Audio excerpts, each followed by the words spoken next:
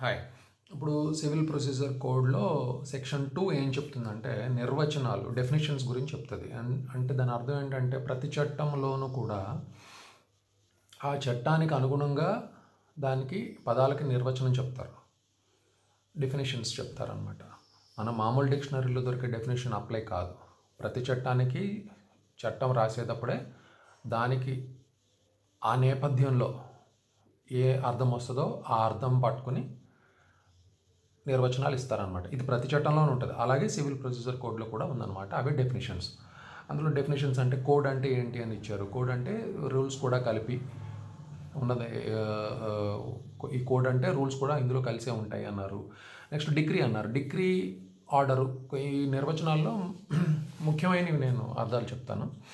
అయితే డిగ్రీ గురించి మనం తెలుసుకోవాలి. ఆర్డర్ గురించి తెలుసుకోవాలన్నమాట. అయితే డిగ్రీ ఆర్డర్ ఏంటి తేడా అంటే డిగ్రీ అంటే హక్కు నీదా వేరే వాళ్ళదా అన్నది నిర్ణయం చేస్తే ఒక ప్రక్రియని డిగ్రీ అంటారు. డిగ్రీ తర్వాత హక్కు ఉంది హక్కు పోయింది అన్నది నిర్ణయం చెప్తుంది అనమాట ఆర్డర్ అంటే కోర్టులో జరిగే ప్రతి చిన్న విషయం ఆర్డర్లోనే ఉంటుంది. సో ఆర్డర్ అంటే ఒక డిగ్రీలో చాలా ఆర్డర్స్ ఉంటాయి. కానీ డిగ్రీ ప్రతి ఆర్డర్లోనూ డిగ్రీ ఉండదు. సో డిగ్రీ అన్నది ఒక హక్కు నిర్ణయించే అధికారము కోర్టుకి ఇచ్చినప్పుడు ఆ హక్కు నిర్ణయించినప్పుడు వాదిదా ప్రతివాదిదా ఆ హక్కు అన్నది నిర్ణయం నిర్ణయం చేసినప్పుడు దాన్ని డిగ్రీ అంటారు. సో దాన్ని డిగ్రీ ఇవ్వాలంటే కనుక ఇరు వైపుల వాదనలు వినాలి విని తీర్పు చెప్పాలి సాక్ష్యాధారాలు ఇవ్వాలి. సో మొత్తం ప్రక్రియ అంతా ఒక సూట్లో జరిగే మొత్తం ప్రక్రియ అంతా జరిగిన తర్వాత కానీ డిగ్రీ అన్న డిగ్రీ అన్నది బయటకు రాదు. ఆర్డర్ అన్నది ఏదైనా వాయిదా కూడా ఆర్డరే. సో ఆర్డర్ అంటే అర్థం అదనమాట. సో కోర్టు వాయిదా చే వాయిదా ఇచ్చింది అనుకోండి అప్పుడు కూడా దాన్ని ఆర్డరే అంటాం. వచ్చే తేదీ ఇచ్చినా ఆర్డరే అంటాం. సో ఆర్డర్లు చాలా ఉంటాయి. పొద్దున్న లేచి కోర్ట్స్ అన్నీ ఆర్డర్లే ఇస్తుంటాయి. కానీ డిగ్రీ మాత్రము సూట్ చివరిలో ఇస్తుంది. సో అది డిగ్రీకి ఆర్డర్కి తేడా అది కూడా నిర్వచనం చెప్పారు. ఇప్పుడు మీరు కోర్టుకు వెళ్ళలేదు. అయితే కేసు డిస్మిస్ ఫర్ డిఫాల్ట్ అయిపోయింది. అంటే మీరు రానందుకు కేసు డిస్మిస్ చేశారు. అప్పుడు అది డిగ్రీయా అంటే కాదన్నారు. సో ఇది ఒకటి గుర్తుంచుకోవాలి. నెక్స్ట్ సూట్లో ప్రిలిమినరీ డిగ్రీ ఫైనల్ డిగ్రీ అనేవి కూడా రెండు ఉంటాయి. ఇవి ప్రిలిమినరీ డిగ్రీ పదం ఎప్పుడు వాడకంలోకి వస్తుందంటే మనం పార్టీషన్ సూట్ వేసినప్పుడు ఫస్ట్ పార్టీషన్ ఒక అన్నదమ్ముల మధ్య నలుగురు అన్నదమ్ముల మధ్య ఉదాహరణకి ఒక ఆస్తిని పంపకాలు చేయాలనుకుంటే కనుక కోర్టు ఫస్ట్ వాటాలు అవన్నీ కూడా నిర్ణయిస్తుంది డిగ్రీలో ప్రిలిమినరీ డిగ్రీ అంటారు దాన్ని. ఆ వాటాలన్నీ నిర్ణయించిన తర్వాత అవి దాన్ని స్థలంలోకి వెళ్ళి ఫిజికల్గా వాటిని ఎవరి వాటా ఏంటో అన్నది దాన్ని ముక్కలు చేయాలన్నమాట. పార్టిషన్ చేయాలి. ఆ పార్టిషన్ చేసినప్పుడు చేసి ఎవరి మొక్క ఎటువైపు వచ్చిందో అన్నది కోర్టు నిర్ణయం చెప్పిన తర్వాత అందులో కూడా ఏమన్నా గొడవలు ఉంటే ఆ గొడవలు కూడా తీర్చిన తర్వాత ఫైనల్ డిగ్రీ ఇస్తుంది. సో డిగ్రీలో preliminary degree and final degree ఉంటుంది. సో ఈ ఇంకో విధంగా డిగ్రీ ఏంటంటే మనము సూట్ వేస్తాం కదా అప్పుడు సూట్ వేసినప్పుడు ప్లేంట్ని రిజెక్ట్ చేస్తుంది. ఈ సూటే పనికిరాదని. అది కూడా డిగ్రీ కిందకే వస్తుందని చెప్పారు డిగ్రీ అన్న డెఫినేషన్లో. దాన్ని డీమ్డ్ డిగ్రీ అంటారు. సో ఇట్లా డిగ్రీ అన్నదానికి నిర్వచనం చెప్పారు. ఇంకా నిర్వచనాలు ఏమున్నాయంటే డిగ్రీ వచ్చిన వాడు ఏమంటారు? వాడిని డిగ్రీ హోల్డర్ అని అంటారు. నెక్స్ట్ డిస్ట్రిక్ట్ అంటే ఏంటి? ఒక జిల్లా అంటే ఏంటో కూడా చెప్పారు. ఒక జిల్లా అంటే ఆ ఒరిజినల్ జ్యూరిస్డిక్షన్ ఉన్న కోర్టు పరిధిని జిల్లా అంటారు. So the principal civil court of original jurisdiction is called the district court అన్నారు. సో ఒక జిల్లాకి ఒక అధికారి జడ్జి ఉంటాడు. ఆ జడ్జు ఆ జిల్లాకి ప్రిన్సిపల్ జడ్జి అవుతాడు అనమాట సో జిల్లా అంటే అది జి- నిర్ణయం. అదేవిధంగా ఫారెన్ కోర్ట్ అంటే ఏంటి అన్నారు. కోర్టు భారతదేశం బయట ఉండే కోర్టును ఫారెన్ కోర్ట్ అంటారు. ఫారెన్ జడ్జ్మెంట్ అంటే ఆ కోర్టు ఏదన్నా జడ్జ్మెంట్ ఇస్తే ఫారెన్ జడ్జ్మెంట్ అంటారు. గవర్నమెంట్ ప్లీడర్ ఎవరు? గవర్నమెంట్ ప్లీడర్ అంటే కూడా నిర్ణయం దానికి నిర్వచనం చెప్పారు. గవర్నమెంట్ ప్లీడర్ అంటే గవర్నమెంట్ తరపున వాదించే వాళ్ళు గవర్నమెంట్ లీడర్స్ అవుతారు. అదేవిధంగా హైకోర్టు అంటే ఏంటో చెప్పారు? అది కూడా హైకోర్టు అందరికీ తెలిసినవే కానీ ఇవి ఈ నేపథ్యంలో చూడాలన్నమాట. మన ఈ చట్టం నేపథ్యంలో హైకోర్టు హైకోర్టుని ఎట్లా నిర్వచించారు నిర్వచించారు అన్నది మనం ఇక్కడ చూస్తాం అనమాట అదేవిధంగా భారతదేశం అంటే ఏంటి? ఇండియా అంటే కూడా ఏంటో డిఫైన్ చేశారు. అదేవిధంగా జడ్జ్ అంటే ఎవరు అన్నది చెప్పారు. జడ్జ్ అంటే ఆ కోర్టుని మొత్తం అంతా పర్యవేక్షణ చేసి సూపర్వైజ్ చేసే ప్రిసైడింగ్ ఆఫీసర్ని జడ్జ్ అన్నారు. అసలు అది కూడా జడ్జ్మెంట్ అంటే ఏంటో అన్నారు ఇక్కడ జడ్జ్మెంట్ అన్నది మళ్ళీ డిగ్రీ కాదు.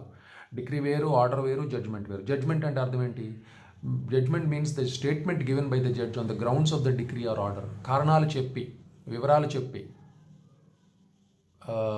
మీరు జడ్జి కనుక తీర్పు చెప్తే దాన్ని జడ్జ్మెంట్ అంటారు. ఉదాహరణకి డిగ్రీ ఇప్పుడు మీరు ఒక కేసు వేశారు అదర్ సైడ్ రాలేదు. అప్పుడు డిగ్రీ ఉంటుంది. జడ్జ్మెంట్ ఉండదు. ఎందుకంటే అదర్ సైడ్ రానప్పుడు ఏముంటుంది అందులో? జడ్జి చేయడానికి. జడ్జి అంటే అర్థం ఏంటి? మంచి చెడు బ్యారేజ్ వేసి అసలు ఏముంది ఇందులో? ఒక తీర్పు చెప్పాలి. ఒక తీర్పు చెప్పాలి అంటే కనుక ఇద్దరు ఉంటేనే తీర్పు అవుతుంది. ఒకళ్ళు ఉంటే తీర్పు ఏమవుతుంది అందులో? ఒకళ్ళు ఉంటే ఒక సైడే ఉంటుంది. వాడి సాక్ష్యాధారాలు వాడి కేసుకు సంబంధించిన సాక్ష్యాధారాలన్నీ ప్రవేశపెట్టి డిగ్రీ తెచ్చుకుంటాడు. సో డిగ్రీ అన్న దాంట్లో ఒక దాన్ని ఒక సమ్మరీ అంటారు. డిగ్రీలో కేవలం అసలు నిర్ణయం ఏంటి కేసు ఏంటి కోర్టు ఫీజు ఎంత కట్టారు ఎంత ఖర్చులు అయినాయి ఇవి సింపుల్గా ఉండేదాన్ని డిగ్రీ అంటారు. ఎవరు గెలిచారు ఎవరు ఓడిపోయారు. ఈ ఈ వివరాలే ఉంటాయి. ఈ సారాంశమే ఉంటుంది అనమాట అదే జడ్మెంట్లో వివరాలు ఉంటాయి కారణాలు ఉంటాయి సమ్ మన ఏ ఏ సాక్ష్యాధారాలు ప్రవేశపెట్టాము ఎవరు సాక్ష్యాధారాలు ప్రవేశపెట్టాము ఏ ఏ డాక్యుమెంట్స్ ప్రవేశపెట్టాము ఏ కాగితాలు ప్రవేశపెట్టాము కంటితో చూసిన వాళ్ళు సాక్ష్యం ఎవరు చెప్పారు నోటితో చూసిన వాళ్ళు సాక్ష్యం ఎవరు చెప్పారు ఈ వివరాలన్నీ ఉంటాయి జడ్జ్మెంట్లో డిగ్రీలో మాత్రం ఇవేవి ఉండవు. డిగ్రీ ఏంటంటే సారాంశం. జడ్జ్మెంట్ యొక్క సారాంశం డిగ్రీలో ఉంటుంది. ఇందాక ఆర్డర్ అంటే ఏంటో కూడా చెప్పాను. సో డిగ్రీ జడ్జ్మెంట్ ఆర్డర్ మూడు పదాలు కోర్టులో వాడుతుంటారు. మూడిట్లకి మూడు అర్థాలు ఉంటాయి అన్నమాట. అవన్నీ డెఫినేషన్స్ నిర్వచనాల్లో చెప్పారు. అదేవిధంగా లీగల్ రిప్రజెంటేటివ్ అంటే ఎవరు ఆస్తికి సంబంధించిన వారసులు ఎవరు అన్నదానికి కూడా డెఫినేషన్ ఇందులో ఉంది. అదేవిధంగా మీని ప్రాఫిట్స్ అని ఉంది. మీని ప్రాఫిట్స్ అంటే అర్థం ఏంటంటే ఎవరైనా మీ ఆస్తిలో కబ్జా చేశారు ఆ ఆస్తుల ఆ తర్వాత వాళ్ళు అద్దెలు ఇవ్వట్లేదు. లేకపోతే మీరు అద్దెకి ఇచ్చిన ఆస్తిని వాళ్ళు ఖాళీ చేయట్లేదు. అప్పుడు వాళ్ళ ఆస్తిని ఎంజాయ్ చేస్తున్నారు. దానిలో వచ్చే ఏవైతే లాభాలు ఉంటాయో అవన్నీ కూడా వాళ్ళే అనుభవిస్తున్నారు కాబట్టి మనము ఒక సూట్ వేసినప్పుడు ఒక దావా వేసినప్పుడు ఆ అందులో వచ్చే లాభాలు కూడా నాకు తర్వాత దావా చివరిలో ఇవ్వాలి అని మనం ఎప్పుడైతే కోర్టుని ప్రే- ప్రార్థన చేసుకుంటామో వాటిని ఆ లాభాలని మీన ప్రాఫిట్స్ అంటారు. మీన ప్రాఫిట్స్ అంటే సూట్ నడుస్తున్నప్పుడు సూటు వేయ వేయడానికి వచ్చినప్పుడు దాని ముందు కూడా మనకు నష్టపోయిన లాభము. దాన్ని మీన్ ప్రాఫిట్స్ అంటారు. మీన్ ప్రాఫిట్స్ అన్నదాని నిర్వచనం అట్లా చెప్పారనమాట దాని తర్వాత మోబిల్ ప్రాపర్టీ. మోబిల్ ప్రాపర్టీ అంటే ఏంటి? మోబిల్ ప్రాపర్టీ అంటే చరాస్తులు. చరాస్తులు అంటే ఏంటి? అంటే చరాస్తులు అంటే పంటల్ని పంటలు లాంటివి చరాస్తులు. పంటలు కూడా అన్నారు. చరాస్తులు అంటే ఏవైతే కదలగలుగుతాయో అవి చరాస్తులు. ఏవైతే కదలలేవో అవి స్థిరాస్తులు. మనకన్నీ తెలిసినవే కాకపోతే చట్టంలో వేరే అర్థం ఇస్తారనమాట వీటిని. అదేవిధంగా ప్లీడర్ అంటే ఎవరు? ప్లీడర్ అంటే మీ కేసుని ఎందుకంటే ప్లీడర్ అన్న పదం ఎప్పుడో పంతొమ్మిది వందల ఎనిమిదిలో రాసిన పుస్తకం కాబట్టి ప్లీడర్ అన్న పదాలు అప్పుడు వాడుకంలోకి వచ్చినాయి. ఇప్పుడు అంతా అడ్వకేట్ అంటున్నారు అడ్వకేట్ చట్టం వచ్చింది కాబట్టి అడ్వకేట్ అంటున్నారు. కానీ ప్లీడర్ అన్న వాళ్ళు ఎవరు అంటే ప్లీడర్ అంటే ఈ కేసు వాదించేవాడు ప్లీడరు తర్వాత ప్రిస్క్రైబ్డ్ అంటే అర్థం ఏంటి? ప్రిస్క్రైబ్డ్ అంటే దానికి రూల్స్ ద్వారా ప్రిస్క్రైబ్ అయిందని ప్రిస్క్రైబర్ అంటారు. నెక్స్ట్ ముఖ్యమైనది ఏంటంటే పబ్లిక్ ఆఫీసర్ ఎవరు? పబ్లిక్ ఆఫీసర్ అంటే ప్రజా అధికారి ప్రజలకు సేవలు అందించే అధికారిని పబ్లిక్ ఆఫీసర్ అంటారు. వాళ్ళు ఎవరు అంటే ప్రభుత్వ అధికారులు అందరూ పబ్లిక్ ఆఫీసర్లు. కోర్టులో పనిచేసే వాళ్ళందరూ పబ్లిక్ ఆఫీసర్లు. అది మిలిటరీలో పనిచేసే వాళ్ళందరూ పబ్లిక్ ఆఫీసర్లు. అదేవిధంగా ప్రభుత్వ జీతం తీసుకునే వాళ్ళందరూ. ముఖ్యమైన నిర్వచనం ఏంటంటే అర్థం చేసుకోవాల్సింది పబ్లిక్ ఆఫీసర్ ఎవరు అని అంటే ప్రభుత్వ జీతం ఎవరెవరైతే తీసుకుంటున్నారో వాళ్ళందరూ ప్రభుత్వ ఆఫీసర్లే. ఒక రూపాయి ప్రభుత్వం దగ్గర నుంచి తీసుకున్న వాళ్ళు ప్రభుత్వ ఆఫీసర్లే అని అర్థం అనమాట పబ్లిక్ ఆఫీసర్ అని అంటారు వాళ్ళని. సో గవర్నమెంట్ ట్రెషరీ వ్యవహారాలు చూసేవాళ్ళు దేశ భద్రత వ్యవహారాలు చూసేవాళ్ళు పోలీసులు రెవెన్యూ చట్టాలు చూసేవాళ్ళు ప్రభుత్వ ఆస్తులు కాపాడేవాళ్ళు వీళ్ళందరూ కూడా ప్రభుత్వ జీతాలు తీసుకుని పనిచేస్తున్నారు. ప్రభుత్వం నడపడానికి ఎవరెవరైతే పనిచేస్తుంటారో వాళ్ళందరూ ప్రభుత్వ అధికారుల కిందకి వస్తారు ఇంక్లూడింగ్ కోర్టులో వాళ్ళ వాళ్ళందరూ కూడా ఐఏఎస్ ఆఫీసర్లు అందరూ కూడా. అదేవిధంగా ఇంకా వేరే వేయచ్చు రూల్స్ అంటే ఏంటో చెప్పారు. రూల్స్ అంటే అందరికీ మనకు తెలిసిందే రూల్స్ అంటే దానికి ఒక అర్థం ఇచ్చారు. షేర్ ఇన్ ద కార్పొరేషన్ అన్నారు. అసలు దాన్ని దాని అర్థం ఏంటంటే స్టాక్స్ కానీ డిబెంచర్స్ కానీ అసలు ఒక ఒక సంస్థలో ఉన్న వాటా గురించి నిర్వచించారు. అదేవిధంగా సైన్డ్ అన్నారు. చూడండి సైన్డ్ అంటే అర్థం కూడా చెప్పారు. సైన్డ్ అంటే ఒక judgment except in the case of a judgment or a degree includes stamped అన్నారు. అంటే అట్లా ఏంటంటే వివరాలు ప్రతి ఈ మనము ఈ డెఫినేషన్స్ నిర్వచనాలు ఏదైతే ఉందో దాంట్లో మనం అర్థం చేసుకోవాల్సిన పాయింట్ ఏంటంటే ప్రతి చట్టానికి నిర్వచనాలు ఉంటాయి. సో ప్రతి చట్టానికి అర్థం మారిపోతూ ఉంటుంది అనమాట మనం డిక్షనరీ చట్టాన్ని తీసుకొచ్చి డిక్షనరీలో ఉన్న అర్థం తీసుకొచ్చి చట్టంలో పెట్టలేము డిక్షనరీలో ఉన్న అర్థం వాడుక భాషకు పనికి వస్తుంది చట్టంలో ఉన్న అర్థం చట్టానికే పనికొస్తుంది.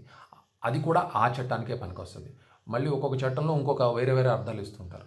సో ఎందుకు అర్థాలు ఇస్తుంటారు ఎందుకు అసలు డెఫినేషన్స్ అన్నది అవసరమా అని అంటే చాలా అవసరం. ఎందుకంటే చట్టం అన్నది ఒక నేపథ్యానికి సంబంధించిన విషయం.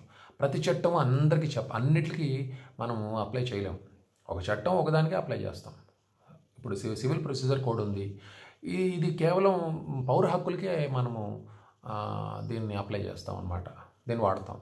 అదేవిధంగా డొమెస్టిక్ వైలెన్స్ చట్టం ఉంది. డొమెస్టిక్ వైలెన్స్ చట్టం వేరు అందులో డెఫినేషన్స్ వేరు ఉంటాయి కాబట్టి డెఫినేషన్స్ అన్న పదం సెక్షన్ టూలో చెప్తారు సివిల్ ప్రొసీజర్ కోడ్లో డెఫినేషన్స్ అవన్నీ మనం ఏదైనా ఎందుకు డెఫినేషన్స్ చూడాలంటే ఎప్పుడైనా మనకి చట్టం అర్థం చేసుకోవాల్సిన అవసరం వచ్చినప్పుడు మనము ఆ డెఫినేషన్స్ చూసుకుంటే మనకి ఆ డౌట్ పోతుంది అనమాట సందేహం పోతుంది.